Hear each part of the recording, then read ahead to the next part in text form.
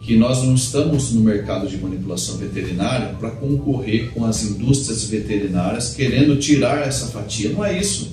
É mais uma opção para o tutor, mais uma opção para o médico veterinário.